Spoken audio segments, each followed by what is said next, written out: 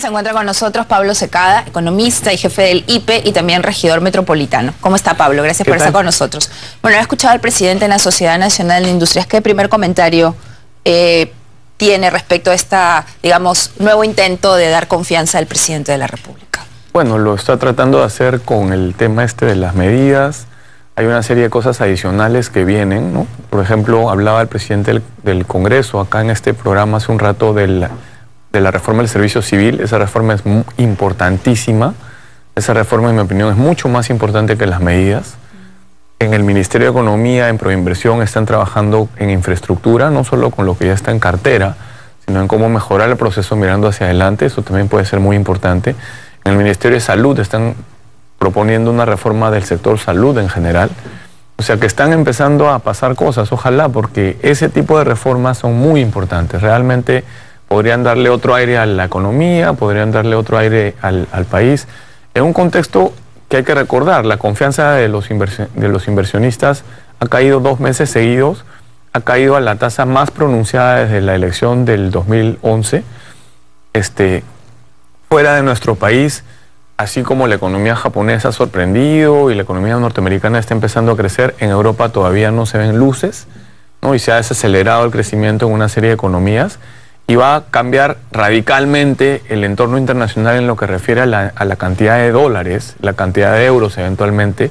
Y es que el Banco Central de Estados Unidos, la Reserva Federal, que metió y metió dinero y metió y metió dinero al punto en que al presidente de la Reserva Federal, que es como el Julio Velarde de Estados Unidos, le decían helicóptero Ben, porque tiraba la plata con helicóptero, ya indicó hace unas semanas que va a parar con estos programas y por eso se cambió totalmente la perspectiva del dólar, ¿no? De haber estado cayendo y cayendo y cayendo y cayendo, este, empezó a fortalecerse. ¿no? Esa también es la razón, disculpe, lo Esa es la razón. Ya. Esa es la razón de por qué se volteó. el dólar sube, sube, sube. Pero es, es por eso. Entonces lo interrumpo, va a seguir subiendo. No necesariamente, porque habría que ver a qué velocidad retiran los estímulos, ¿no? Pero en esencia, después de haber metido muchos dólares en la economía internacional, Estados Unidos durante mucho tiempo, con lo cual el dólar perdía valor, ¿no? Te están diciendo, ya no voy a seguir, y al vencer los programas se deja de meter tanto dinero. La economía mundial va a trabajar con menos dólares y por tanto el dólar va a cambiar de dirección. ¿no? Ahora, estaba también leyendo unos comentarios eh, suyos y quería que le explique al público en este, en este momento qué cosa significa la confianza de los empresarios y esto qué implica eh, teniendo en cuenta esta, el análisis de esta agencia Bloomberg. Explíqueselo, por favor, a la gente. A ver, en, el Perú siempre se han reportado lo que se llaman economía datos duros, por ejemplo el Producto Bruto Interno, por ejemplo las exportaciones. Pero en un montón de países y en el nuestro ya también tenía un tiempo periodo mejorando, se están reportando más datos blandos. ¿Eso qué es? De confianza. Ah, o sea, por ejemplo, el Banco Central hace una encuesta y le pregunta a decenas o centenas de empresas cómo están tus inventarios. O sea, ¿se te están quedando las ventas o sigues vendiendo rápido? ¿Qué órdenes estás recibiendo en los siguientes tres meses? ¿Más órdenes de compra o menos órdenes de compra? Son datos blandos. Datos blandos, que en realidad son las preguntas a diferentes gerentes de compras, diferentes gerentes de ventas, diferentes gerentes generales, que te van permitiendo armar un índice. Este índice predice la inversión privada. ¿Ya? Y la inversión privada te lleva de crecer a 7 o crecer a 5. ¿no? De que los peruanos realmente empiecen a, sigan saliendo de la pobreza o que ya no tanto. ¿no? Porque es el único componente del, crecimiento que puede acelerarse muchísimo o aguantarse un poco, que es relevante. Porque también pasa lo mismo con la inversión pública, pero es más chiquita. O sea, la confianza no es solamente porque la gente no lo comprende, que es que el empresario, que, también puede ser, no dice yo tengo fe porque la situación, pero tiene una base concreta que son, estos encuestas de órdenes, de compra, etcétera. Entonces, en nuestro país el Banco Central publica este índice de confianza empresarial. Ya. ¿no? Y el índice de confianza empresarial predice la inversión privada con un poquito de anticipación. O sea, lo que diga el índice va a pasar con la inversión después. Ese índice llegó a estar de 0 a 100, donde más de 50 indica optimismo empresarial. Creo que en 78 en algún momento del gobierno de Alan García. Se cayó creo que a cuarenta y tantos con la elección y se recuperó a sesenta y tantos. Ha bajado a 54. Entonces estás en 10 y pico, o sea, estás en 11 pero con las justas. Con las justas. Ya, ahora, ¿qué significa esto en el contexto del análisis de Bloomberg?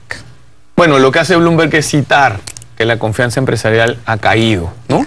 Para que tengas una idea de la importancia de este, de este tipo de indicadores, en el mundo estos se llaman normalmente PMI. ¿Ya? ¿no? Los benditos PMIs los analizan los bancos de inversión al detalle, porque tienen PMIs en todo el mundo, entonces los agrupan en las zonas industriales, las que producen commodities, las que compran commodities, los países grandes, los países chicos, porque anticipan, en el mundo no se produce, el Producto Bruto Interno no se reporta cada mes, sino cada tres. Ah, ya.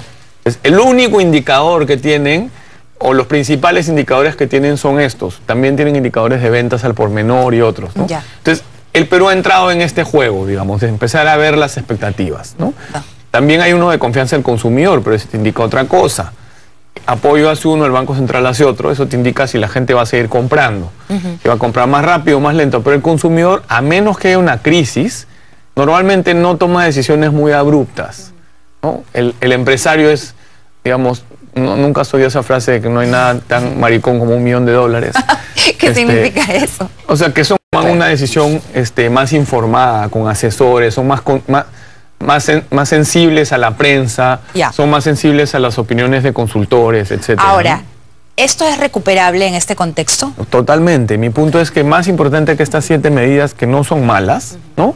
Pero se han visto como buenas medidas, pero no tan relevantes, sería, por ejemplo, la reforma del servicio civil. Ahí vamos entonces. Quiero por favor que le explique, porque usted ha citado reformas que se llaman de, de fondo, ¿no? Sí. ¿Qué son las reformas de fondo? Las reformas de fondo son cambios eh, estructurales, para, para repetir la misma idea, en la economía. ¿no? Por ejemplo, en nuestro país durante algunas décadas decidió no integrarse al mundo. ¿no?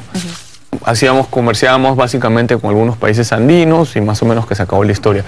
Y tomó la decisión en los 90 y lo ha ido, ha seguido en esa, en, esa, en esa línea de integrarse abiertamente al mundo. Eso es, por ejemplo, una gran reforma. ¿no? El sistema de pensiones, que era un sistema de reparto en el cual el que contribuye le paga las pensiones al que está jubilado, se complementó con un sistema privado de cuenta individual de capitalización. Esa es una gran reforma. ¿Qué es servicio civil? No se sabe exactamente, pero hay alrededor de 1.4 millones de empleados públicos. De esos, 900 mil entran en la ley de servicio civil, porque los otros medio millón de empleados públicos tienen su propia ley Que es maestros, policías, Fuerza Armada, Médicos. Salud, Instituto Nacional Penitenciario. No, ellos tienen sus propias ya. leyes. Y de aparte de ellos hay estos 900. Estos 900 mil, ¿cómo funcionan ahora? Bueno, en verdad funcionan de varias maneras. Hay algunos a los que se llaman nombrados, Así es. ¿no? Trabajan bajo el decreto legislativo 276. Así es. Esos en esencia han entrado al Estado, se les ha nombrado y no se les promueve, no se les aumenta el sueldo, pero es bien difícil que se les despida. En esencia están estancados. Esos son los más antiguos. Algún, sí, porque la- la- los nombrados, se cerraron los nombramientos. Y ahí en quedaron el Estado. anclados. Se quedaron con su puesto. ¿no? Ya, esos son un tienen régimen. gratificación, tienen CTS, aunque la CTS es bajita, tienen este, vacaciones, tienen horas extra. Ya. Después hay otros que para simplificar vamos a asumir que son el que más hay son los benditos CAS, el CAS, que antes eran los servicios no personales, Así ahora es. son los CAS, que es el decreto originalmente el 728, que son personas que trabajan normalmente más de ocho horas, no tienen sobretiempo, no tienen vacaciones, no tienen AFP o, o de salud, no tienen EPS o de salud. O sea, andan ahí como, como, por ejemplo, trabajamos los que estamos en cuarta categoría, pero yo trabajo en cuarta categoría porque voy al IPE dos mañanas de la semana. Ellos van de lunes a viernes, de 9 de la mañana a Ah. 7, 8, 9, 10, 11, 12 de la noche. Esos son los que se amanecen típicamente. ¿no? Hay un grupito más chiquito que trabaja con el mismo régimen laboral que alguien que esté en planilla en el sector privado. Y hay otro grupo también chiquito que son los funcionarios de O confianza. sea, como cinco. Yo ya te he dicho cuatro. Cuatro. A ver, Entonces, vamos- ¿cuál es la idea? Es que haya un solo régimen e incentivo. Exacto. Y hoy día y hay, hay tres puntos que vamos a discutir y tú has estado también en un eh, comentando en tu Twitter. Continuamos hablando con Pablo Secada sobre el importante tema de la ley de servicio civil. Esta ley pretende ser, eh, en la Comisión de Trabajo, se pretende introdu- introducir algunos cambios. Eh, tú has, con- conoces la ley, la has leído, Sí, etcétera. Los pero cambios, leí el dictamen de, de presupuesto, no el dictamen de por eso, en, en trabajo quieren modificarlo de ya, presupuesto. ya lo hicieron en realidad, ya hay otro dictamen de trabajo. ¿Y ese, conoces ese, esa modificación? No he leído detalles, he escuchado a asesores del Congreso que estuvieron en el debate para dónde iba la- la- el dictamen de la Comisión de Trabajo y de hecho hasta en un momento hubo dictamen, pero no consiguió las firmas. Entonces se demoró días en que hubiera dictamen al que yo pudiera acceder. Me iban a conseguir una copia, pero al final no, de acuerdo, fue así. Pero podemos tocar alguno de los puntos en los que creo que, puedes dar una, una visión importante. La meritocracia, que es, digamos, con estos cuatro regímenes que tenemos en este gran, este, en esta administración pública grande, ¿qué papel debe de jugar y por qué es importante? Bueno, es que ahora no la hay en esencia, ¿no? Lo que tú quieres es que la haya, así como la carrera magisterial que después ha sido cambiado en este gobierno, pero el concepto sigue siendo el mismo, tú quieres que haya meritocracia, que haya evaluación, que hayan ascensos, que hayan mejoras de los sueldos, ¿no? Este, hay un, ya, hay un, ya hay una ley de becas, entonces los funcionarios públicos pueden también recibir becas para seguir capacitándose en nuestro país o fuera de nuestro país. Y eso es el grueso de funcionarios públicos. Porque después esta ley no lo dice así, pero hay países que lo tienen así. Nueva Zelanda es un ejemplo. Tiene trato aún mejor para una élite de funcionarios públicos, ¿no? que son los gerentes de las principales empresas, los encargados de los programas de educación, de salud, los programas centrales del Estado. ¿no? Pero sin ir a esa discusión, la idea es que haya meritocracia, que haya evaluación, que haya promoción este, que hayan mejoras significativas de los sueldos. O sea, pero de acuerdo a tu calidad de servicio. Exactamente, ¿no? En algunos países la evaluación la hacen terceros.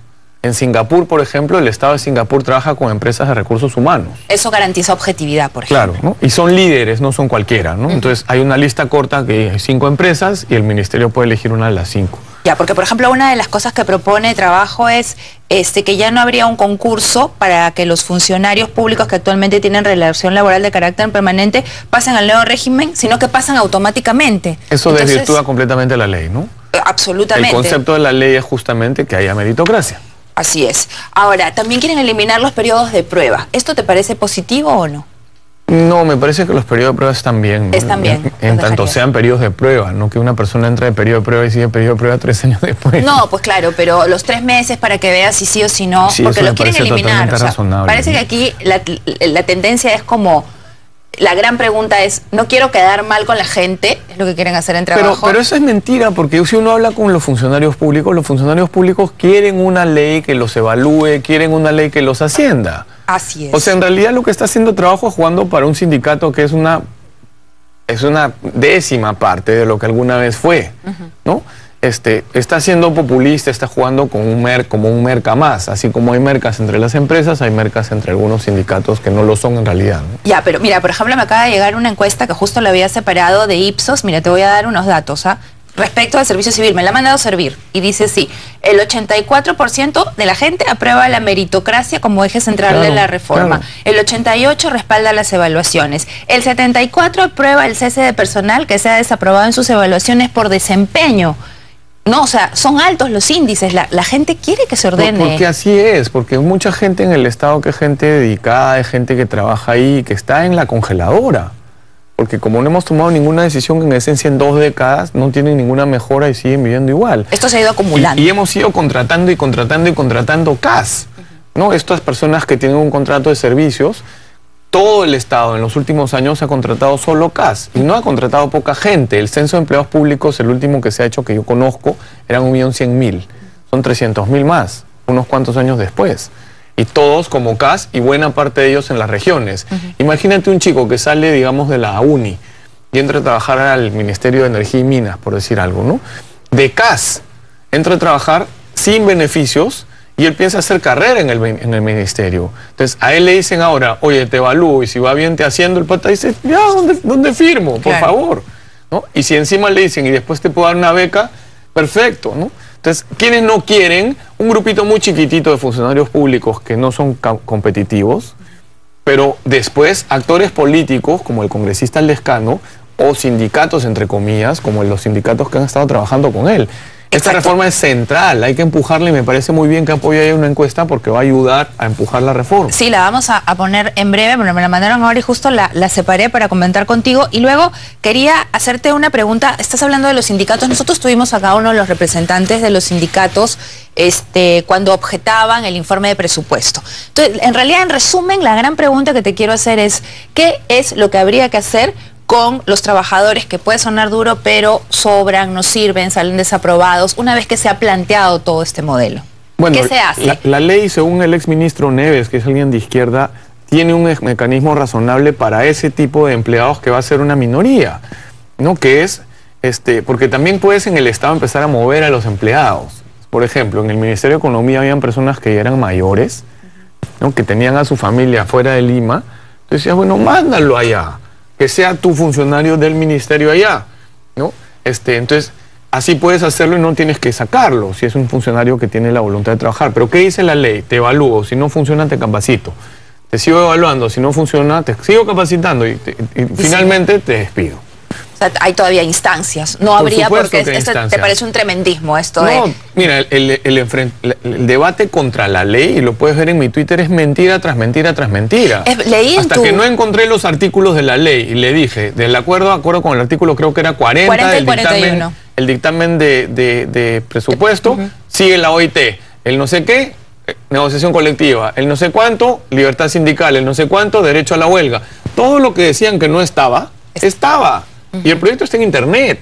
Eh, y además el señor que vino nos lo dijo, la OIT lo ha observado. Entonces cuando leí que tampoco es cierto. Yo hablé con gente de la OIT en Lima y me dijeron, no, no lo hemos observado. Ciertamente no de manera formal, y de manera informal Ginebra no va a opinar sobre algo que pasa en el Perú cuando nosotros estamos sentados acá. ¿Cuál es el manejo político, que también te he escuchado criticarlo, que se debe dar, después de lo que ha pasado, que ha sido desastroso, a partir de ahora, que se debe dar Como tú no tienes instituciones y no tienes partidos, si tú vas al Congreso de buena fe, digamos, a llevar un proyecto, a decirle, mírenlo, cuando es una reforma ¿no? que puede generar este tipo de reacciones, te la van a trancar. Lo que tienen que hacer es trabajarla antes con líderes de opinión trabajar antes con líderes políticos que pueden o no estar en el Congreso.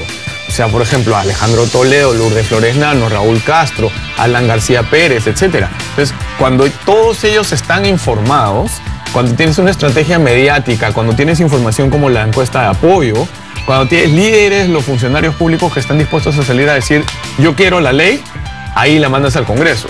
¿no? Y cuando la mandas al Congreso, además, el, Ejecutivo, sobre todo, tiene que ejercer autoridad sobre sus congresistas.